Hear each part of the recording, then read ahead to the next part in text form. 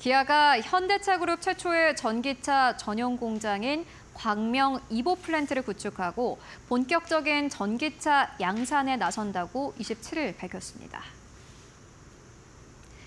광명 EVO 플랜트는 6만 제곱미터 부지에 총 4,016억 원이 투입된 전기차 전용 공장입니다.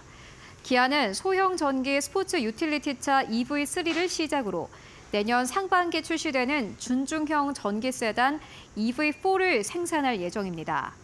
기아는 EV3와 EV4 생산을 통해 광명 이보 플랜트를 15만 대 연간 생산 능력을 갖춘 핵심 생산 거점으로 활용하고 전기차 업계를 선도한다는 목표입니다.